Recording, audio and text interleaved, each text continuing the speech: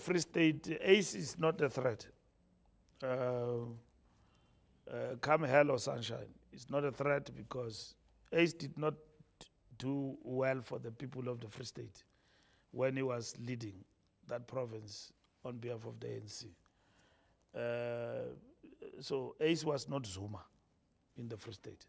In the Free State, the issue you were going to have was the laxity of ANC structures and the local government service delivery uh, challenges in the Free State and uh, uh, leadership squabbles at the regional level.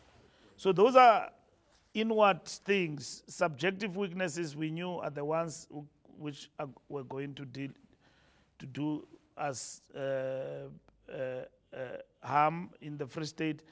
And I think the comrades of the Free State also must be commended. They fought hard to get above 50%.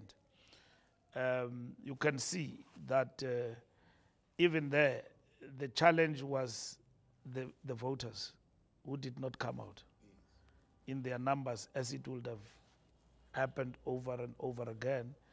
Our people did not come out in numbers because of uh, service delivery issues in terms of the Free State. So um, uh, we did not do well. And you've now created a new problem in the Free State of the two centers of power. How did that happen? In fact, why did you do that? No, we did not uh, create two centers of power. Uh, it does not mean that uh, when you come for an interview, it is a guaranteed that you'll become premier. So the product of the Free State is the outcome of the ANC processes.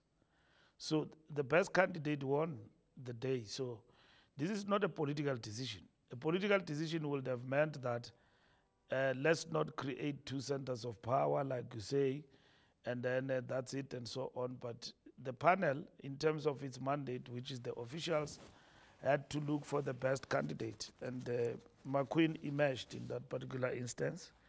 So uh, all seven of us uh, appointed her as the, as, as, the, as the premier of the Free State. It will not uh, arise the issue of two centers of power in the Free State because Mxolisi is not a bitter person. Uh, uh, is very matured, and that is why then, in terms of uh, deployment, we deployed him to become the speaker of uh, the legislature, which is a very important uh, center of government. So he is deployed there.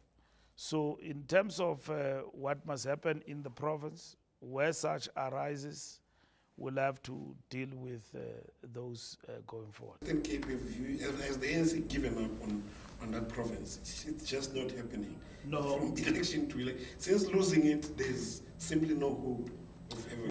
We have not had a chance to look at Western Cape and decide on what we want to do there. Um, uh, Uh, I think we are giving the DA a free ride.